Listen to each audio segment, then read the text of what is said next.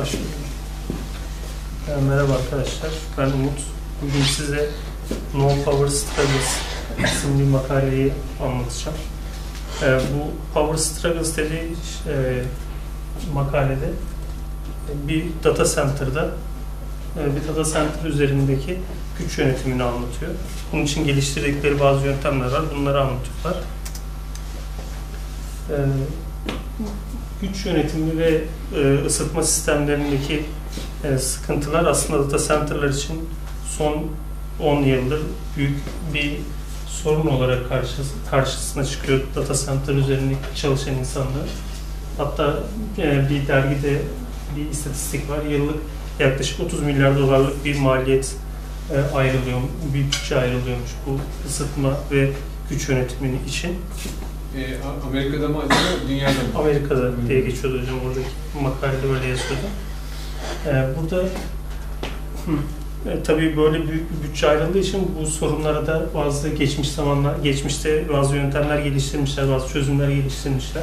Bunlardan iki tanesinden bahsediyor. İşte iki temel çözümden. Biri average power, diğeri peak power dedikleri şey. Average power dediği e, data center'ın ortalama güç tüketimi üzerine yoğun, yoğunlaşmış ve elektrik tüketimini azaltmaya çalışıyor, bu maliyeti azaltmaya çalışıyor. Peak power dediği ise ısınma sorunları üzerine yoğunlaşmış ve bunu e, azaltmaya çalışıyor. E, makalede diyor ki bu sorunlara çözümler üretilmiş daha önceden. Zaten ileride bahsedeceğiz üretilen çözümlerden. Ancak bunlar hep birbirinden bağımsız olarak üretilmiş ve kullanılmış data center'larda. E, bunları bir araya getirerek daha yüksek performansı, daha iyi geri dönüşü çözümler üretebilir miyiz sorusuna aslında bir cevap aramışlar. Ee, bunun iki bacağı olduğunu söylüyorlar. Birincisi bunu yaparız ve her şey çok güzel gider. Ee, her şey çok iyi olur. İkincisi bunu kontrolsüz bir şekilde yaparız ve bize olumsuz geri dönüşleri olabilir ki bugüne kadar anlattıkları kadarıyla e, hep birbirleriyle koordinesiz çalışmış bu sistemler. O yüzden çok yüksek başarı kazanamamışlar. Kendileri de buna bir çözüm üretiyorlar problemin tanımına geçiyoruz şimdi. Ee, birkaç, e, hatta ilk önce göstereyim isterseniz. Problem ve çözümle ilgili şöyle bir tabloları var. Ee, bu satırların başında gördüklerimiz aslında hangi e, açılardan çözüme yaklaştıkları. Ee, sütunların başlıkları da bu çözümler için kullanılan yöntemler. Bunları şimdi anlatacağım. Tracking problem, capping problem ve optimization problem diye üç tane problem çeşidi var. Tracking problem dediği aslında ortalama güç tüketiminin üzerine yoğunlaşılmış ve e, elektrik tüketimini azaltmaya çalışıyor. Capping problem'da peak power üzerine çalışıyor. Bu da e, ısı yönetimini, e, ısı ile ilgili problemleri çözmeye çalışıyor. Optimizasyon problemi de aslında e, elektrik, daha doğrusu güç tüketimini minimuma indirip e, e güç tasarrufunu maksimuma çıkartıp bu sırada performans kaybını da minimumda tutmaya çalışıyor. Bu üç temel problem üzerine çalış, çalışılmış bu makalede. Ve bunun yanında yani e, zaman sabiti diye bir şey var. Zaman sabiti aslında e, üretilen çözümün yazılımsal mı, donanımsal mı olduğu. Çünkü yazılım çözümleri e, üst düzeyde kaldığı için daha yavaş e, sistemi etki edecek. Donanımsal çözümler ise daha kolay bir şekilde sistemi etki edeceği için daha hızlı çözümler üretecek diye e, söylüyorlar. Hatta şurada belirttim sanırım evet.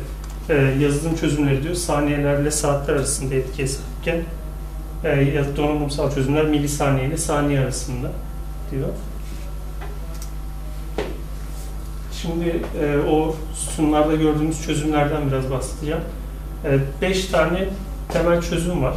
Birincisi efficiency controller, ikincisi server manager, üç, üçüncüsü enclosure manager, Dördüncüsü Group Manager, beşincisi de Virtual Machine Controller.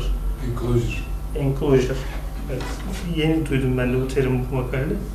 Efficiency Controller dediği e, işlemci üzerindeki ortalama güç tüketimini bulup e, bunu düzenlemeye yarıyor. Yani server Manager dediği server üzerindeki e, server'a budget dar yani nasıl diyeyim limitler ekliyorlar aslında. Belli bir güç limiti ekliyorlar ve her server'da bu server manager kontrol ediyor. Bu limiti açtı mı açmadı mı diye.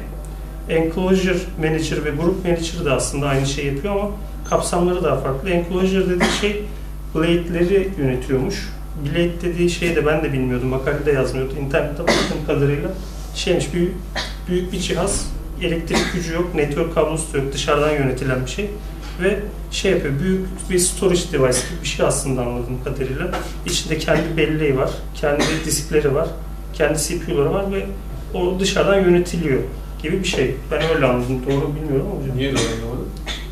Doğrusunu bize mi? Yani ben böyle anladım okuduğum kadarıyla internette. E, Böyle bir şeymiş. Böyle bir cihazmış. Enclosure kabinet demek değil mi? Ya böyle bir cihaz var diye okudum da bilmiyorum. Yanlış mı? Ayrı bir cihazmış bu öyle diyorlar internette. Tamam, kabinet işte, kabinet menajeri. Tamam. Kabinet e, Lake tek marka altında da olabilir. Farklı markaları bir araya getiriyor. Evet evet. E, ama kabinetler yönetilebilir kabinetler sonuçta. Akıllı kabinetler. Her bir bilgiye ayrıca ulaşabiliyorsun. Evet. Data center'lar o şekilde enclosure'lar içerisinde. Orada enclosure'daki özellik şu, enclosure'ın e, power girişi makinelere dağıtıldığı için enclosure'ın da içinde ne olup bittiği önem taşıyor yani içine Hı hı. 10-15 tane makine koyduğun zaman e, 10-15 makineye bakması gerekiyor. İşte sıcaklığı vesaire. Evet kendisi yönetiyor aslında içeriği. Group Manager de onun bir büyüğü şeklinde düşünebilir. Rack ve Data Center diye geçiyor. Rack dediği de bir raf, yani Data Center'daki bir raf işte orada farklı farklı sunucular var. O Group Manager o rafı veya Data Center'ın tamamını yönetiyor. Bir de Virtual Machine Controller'ı var. O da sanal makineleri yönetiyor. Onların optimizasyonunu sağlıyor. Az önce gösterdiğim tabloya geri döndük. Burada işte Efficiency Controller demiş. İşte average power'a yönelik çalışıyor. Server Manager e, peak power'a yönelik çalışıyor. İşte time constant'lar, milisaniyeler gibi böyle bir tablo halinde özetlemişler aslında az önce anlattığım şeyleri. İşte hardware'in, software'in. Ne diyor bize bu tablo? Bu tablo bize diyor ki bir efficiency controller dediğimiz çözüm average power üzerine çalışır. Resource management lokal, yerel üzerinde çalışıyor. İşte donanımsal bir veya yazılımsal bir çözüm üretilebiliyor. Ve etkisi P-State'dir. P-State dediği şey de e, işlemci üzerindeki burada anlattığı kadarıyla işlemci üzerindeki saat frekansını değiştirmek şeklinde. Örneğin 5 tane state oluyor işte 100 MHz çalış, 500 MHz'de, 1 GHz'de, 2 GHz'de çalış ve o anki sistemin durumuna göre frekansını değiştirerek güç tüketimini dengeliyor. Ee, Peki alt- burada bir arkadaşlara da soruyorum. Elimde bir algoritma var. Ee, diyelim bin tane datayı sort edeceksin. Bin tane kayıt var. Bunları alfabetik sort edeceksin. Harcadığın enerji nereye bağlı? yani CPU'yu ne kadar kullandığımıza bağlı. Prosesör frekansını düşürdün. Daha az enerjiyle yapabilir misin? Ee, zaman uzarsa yine aynı enerjiyi harcar. Hatta daha fazlasını harcayabilir. Dolayısıyla burada bir e, şey var. İki taraflı Denge düşünmek- noktası var. denge noktası var. Prosesörü yavaşlattığın zaman iş uzayacağı için gene enerjisi fazla tutma şeyi var. Zaten orada optimizasyon yapmak gerekiyor. Evet, aslında Ondan zaten bahsedeceğim. bu sistemleri bir araya getirme ihtiyacı burada doğuyor. Koordinasyon olmadığı zaman sizin de bahsettiğiniz gibi birbirinden farklı kararlar veriyorlar ve yanlış sonuçlar üretiyorlar. O yüzden koordinasyona ihtiyaç duyuluyor. Birazdan geleceğim onlara. Ee, makalede e, önerilen çözüme geçiyoruz şimdi. Ee, az önce aslında anlattım ama birazcık daha detaylı anlayacağım. Efficiency Controller, bunların hepsini kullanıyorlar bu arada. Az önce bahsettiğimiz bu 5 yöntemi de. En içte Efficiency Controller var. Ee, CPU'nun saat frekansını değiştiriyor dedik bu. Bunun bir üstünde Server Manager var. Şu SM. Server Manager da e, bir tane onun belli bir limiti var, bir budget'ı var.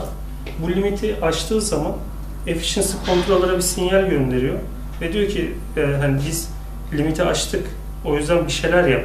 Senin güç tüketimin maksimuma çıktı.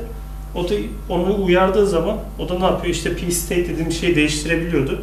Gidiyor bu sefer daha düşük frekans alıyor mesela o CPU daha düşük frekans aldığı için güç tüketimini azaltıyor. Bu şekilde birbirlerini dengeleyerek bunu ilerliyorlar. Enclosure ve grup Manager da aslında aynı şey yapıyor. Sadece işte kapsamları farklı. Biri daha büyük düzeyde yapıyor. Enclosure üzerinde yapıyor. İşte öbürü bir raf üzerinde yapıyor. Ama yaptıkları şey yani ikisi de peak power üzerine çalışıyorlar. Bir de Virtual Machine Controller var.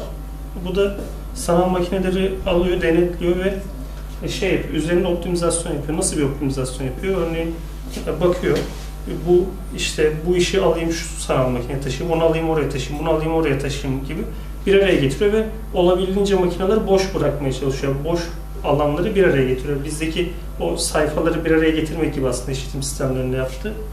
Sonra ne yapacak? O boş yerleri, boş makineleri kullanmayacak. Belki enerjisini kesecek, bir şeyler yapacak. Bu sayede güç tüketimini azaltacak. Optimizasyonu da bu şekilde sağlıyor VMC. Bir nevi, bir nevi, bir nevi memory manager nasıl fragmentation'ı optimize Evet. ediyor. Data Center Manager de fragmentation optimize ederek serverlar arasında. Ee, bunlar çünkü enerji harcayan aletler. Olabildiğince enerjiyi azaltmaya çalışıyor. Makineleri kapatarak düşürüyor. Evet, bunu yaparken dikkat edilmesi gereken bir şey olduğunu belirtmişler.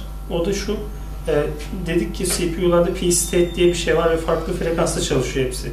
Şimdi bildirimleri alıyor VMC yani Virtual Manager Controller E, ama aldığı şey mesela %100 utilization var diye bir bilgi geldi ona. Ama adamın frekansı birinin 1 MHz, birinin 1 GHz olabilir.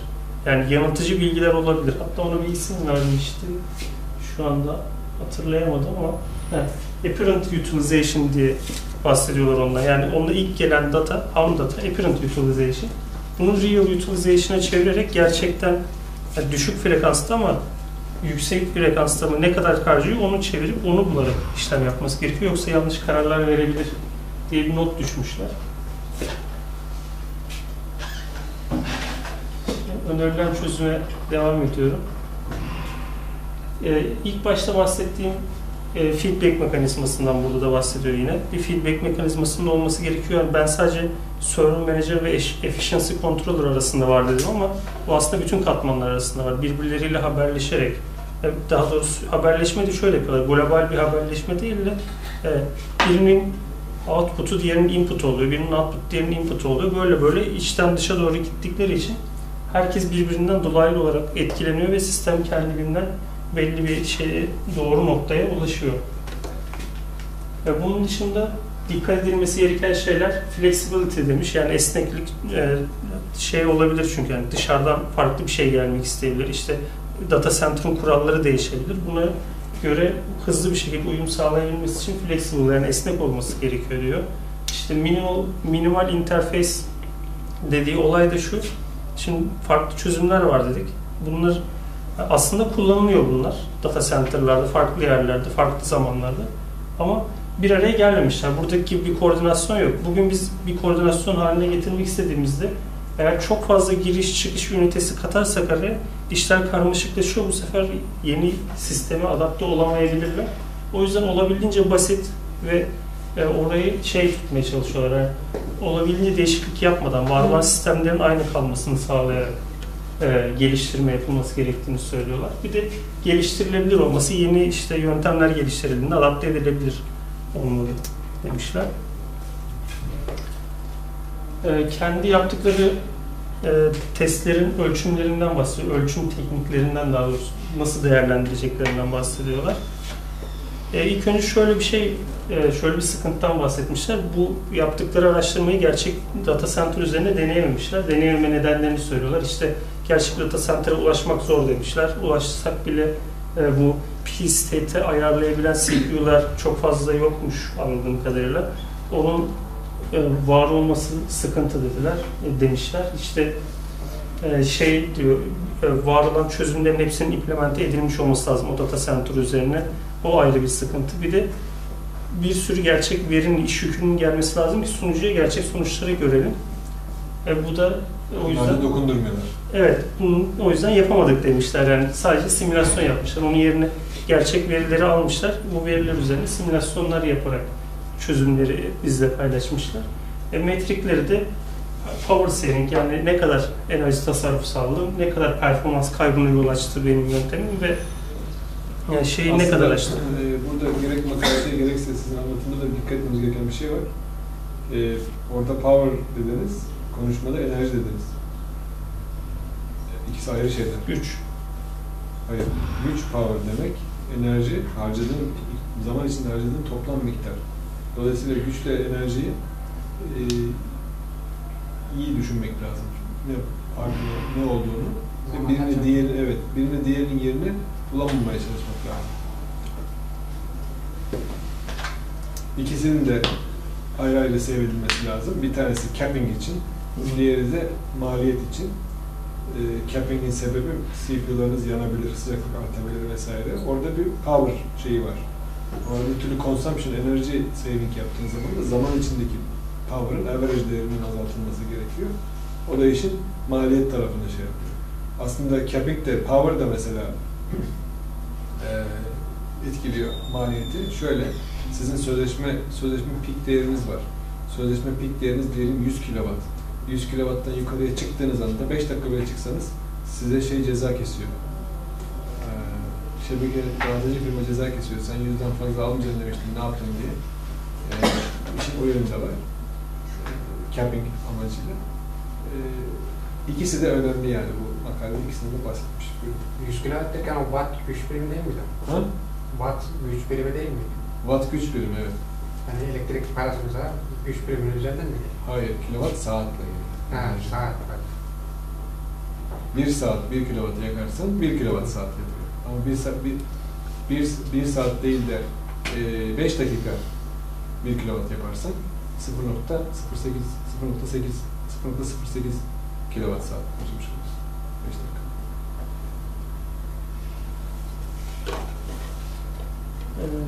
Şimdi e, bu simülasyon senaryolarında kullandıkları şeylerden bahsetmişler burada da. 180 tane işte trace almışlar. Yani gerçek dünya örneği bunlar. İş yükü olarak çevireceğim ama bilmiyorum doğru olur mu. Ee, bunları ilk önce ilk başta diyor ki hepsi tek bir yerde bir arada duruyor 180'e birden. Sonra bunu bölmüş şu LMH dedi 60 L 60 M 60 H low medium high utilization yani CPU kullanımı üzerine parçalamışlar onları. Ee, sonra bir de şöyle bir şey fark etmişler. Ellerindeki o gerçek dünyadan aldıkları trace'lerde hepsinin %15 ile %50 arasında bir kullanım varmış. Yani düşük bir utilization değeri var. O yüzden synthetic utilization değerleri üretmişler. Ona da 60 HH, 60 HHH yani very high ile extremely high utilization dedim ben onlara. Öyle iki değer daha üretmişler ki testleri yaparken şey yüksek kullanımda nasıl olduğunu görelim diye. İki tane de şey var, serverlar var. Biri Blade server, biri de 2U server. O 2U dedi bir uzunluk değeriymiş. Şu kadar. Bir bu kadar. Evet.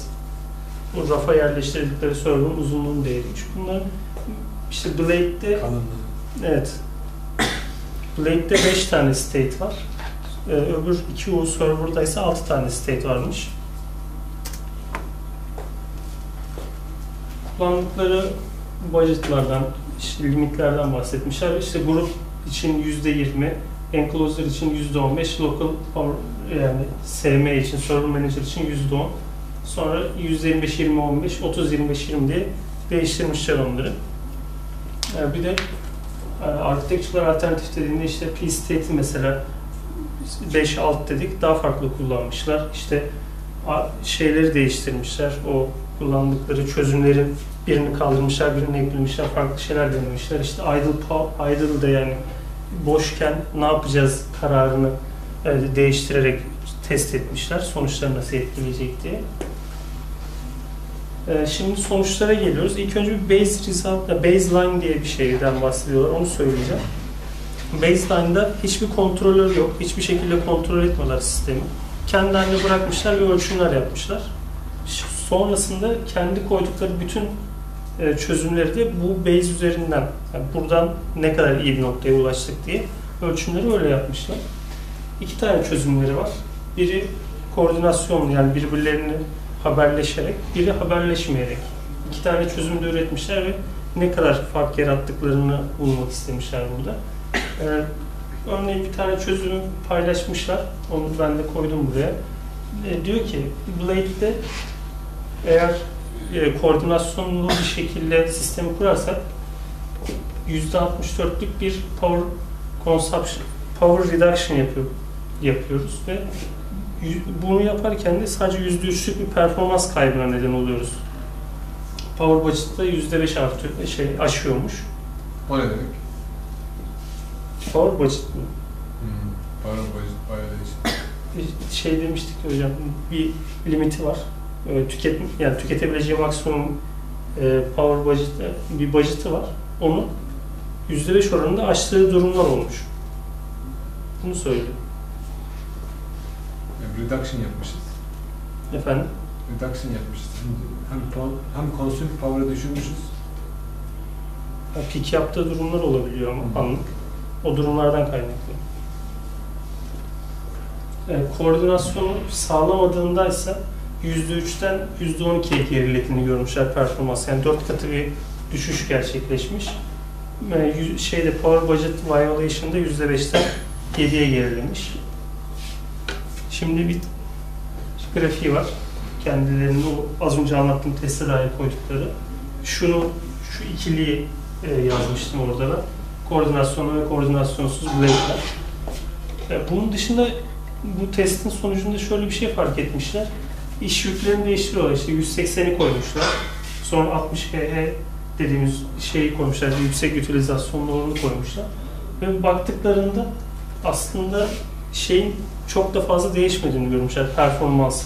Yani iş, iş yükü fazla da olsa, az da olsa sistem stabil çalışıyor, aynı sonuçları üretiyor. Zaten burada da görülüyor. Yaklaşık şurada işte yüzde üç falan herhalde. Burada da aynı şekilde. İşte burada yüzde on idi, burada da yüzde on bir olması lazım. Muhtemelen öyle bir şey. Yani yaklaşık aynı değerlerde kalmış. Performansta bir kayıp yok. Bundan bahsetmişler. Sonra başka bir değişiklik yapmışlar. Yeni bir senaryoya geçiyorlar burada. Eski senaryolarını koruyorlar. Şu coordinated dediği koordinasyonun hepsinin aktif olarak bulunduğu hali. Zaten eski değerleri %64 e, başarımın olduğu. Sonra demişler ki Virtual Machine Controller'ı kaldıralım önce. Onu kaldırmışlar. O şu bar. Şunlar.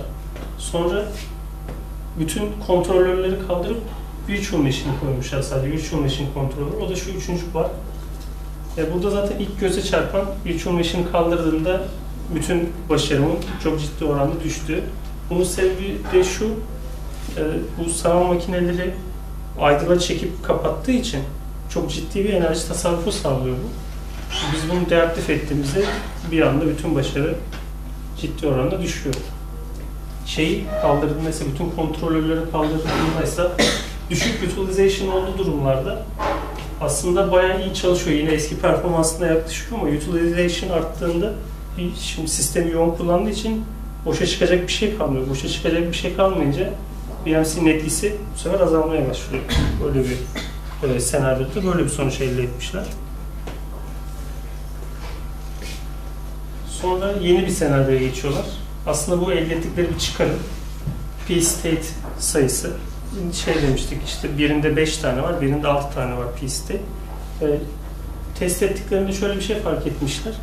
Aslında 5-6 tane P-state olmasa da sadece en yüksek ve en alt değerleri olsa ellerinde yaklaşık olarak yine aynı performans değerlerine ulaştıklarını görmüşler. Yani en 1, 1 MHz, 10 MHz, 100 MHz yapmak yerine 1 ile 100'ü koysaydık da çok bir şey değişmeyecekti diye paylaşmışlar.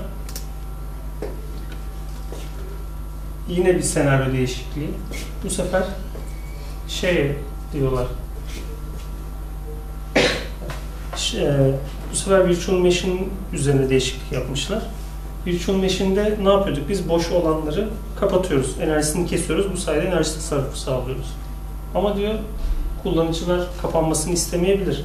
Hatta bununla ilgili okuduktan sonra aklıma bir şey geldi. Coding diye bir internet sitesi var belki biliyorsunuzdur. Online şey veriyor, virtual machine veriyor bu kullanıcılara. Orada kod falan geliştirebiliyoruz. Adamlar mesela 15 dakika bir süre koymuşlar. 15 dakika sonra kapanıyor VR. Tekrar açmanız gerekiyor onu.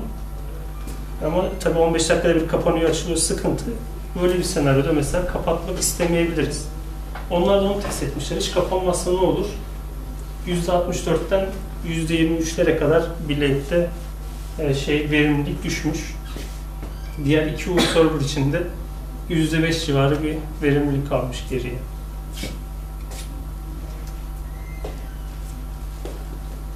Sonuç olarak e, bu makalede ne yaptığımızı tekrar bir şey yapacağım, toparlayacağım. E, data center'lardaki e, güç tüketimi, ısı yönetimi gibi konularda aslında günümüzde çok da fazla gelişmiş entegre çözümler yokmuş. Ve bu makalede geçmişte yapılan çözümleri alıp birbirine entegre ederek daha düzgün ve daha geleceğe dönük çözümler üretmeye çalışmışlar. Ee, ve koordinasyonun, koordinasyonun yer aldığı bir altyapının data center'lar için gelecekte çok daha önemli olduğunu bahsediyorlar. Temel olarak makalenin şeyi bu. Benim anlatacaklarım bu kadar. Teşekkürler. Bu güç tüketimi